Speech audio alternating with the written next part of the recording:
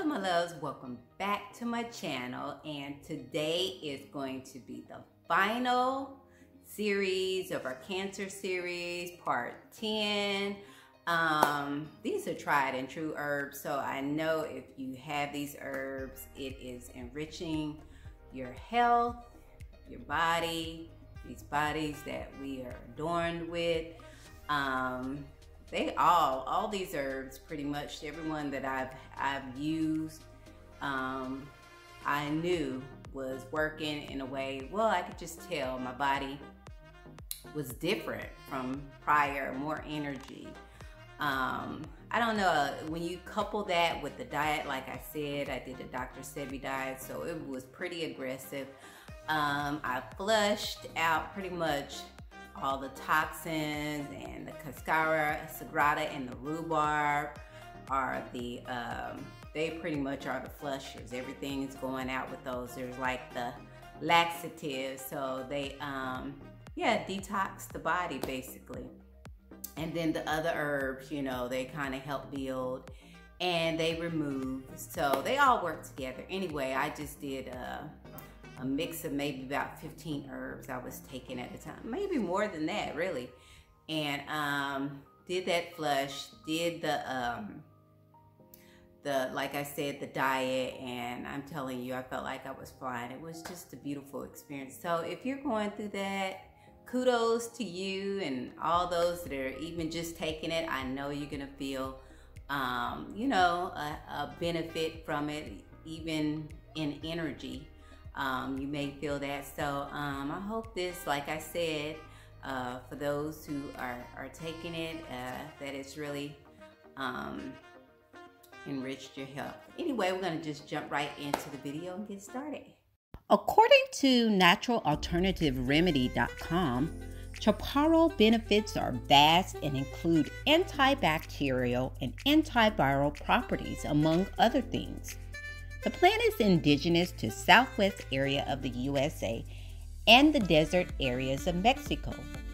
It was extensively used by the Native Americans who happened to live in those particular places.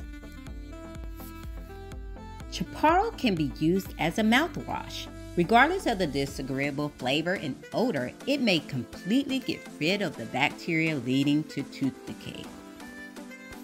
Chaparral has strong antifungal and antimicrobial properties and is a treatment frequently utilized to kill parasites that are living in our bodies. For treatments for burns, the resin that resides in the chaparral leaf is used from time to time. Chaparral is typically used to alleviate respiratory difficulties, for example, colds and bronchitis. It is an all natural expectorant and will help the airways clear of excessive mucus.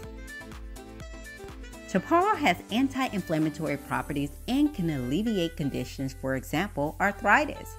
It has already been utilized to soothe the itchiness of chickenpox. Externally, the herb was used to soothe skin rashes and heal bruises, prevent diseases, and heal wounds. It is especially advantageous for sufferers of eczema and psoriasis. An infusion of chaparral leaf herb may also be utilized to help ward off dandruff. Using chaparral in tea form or capsules is advantageous for problems with the body's digestive system. Chaparral leaf is believed to be a good herb in combating the signs of cancers and regularly suggested by natural medicine practitioners when cancer is identified. This is because of the strong antioxidant properties that the herb contains. There has been certain research done that proposes that the herb might have the ability to inhibit the development of tumors. The antioxidant qualities of chaparral may be advantageous for cleaning the blood and helping the body to age more slowly. The antioxidant properties also may be advantageous for gout sufferers as well. Taking chaparral supplements might have a favorable impact also on the body's circulation.